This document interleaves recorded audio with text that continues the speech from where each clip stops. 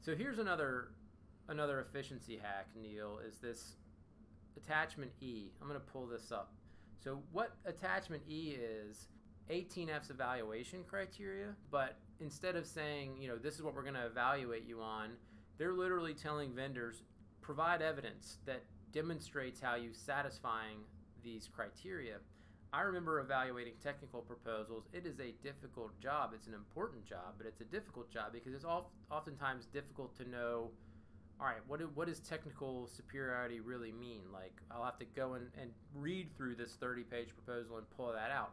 Here, what the authors in, in this situation are doing are saying these are our criteria. You map your, your proposal or your prototype or your process back to our criteria.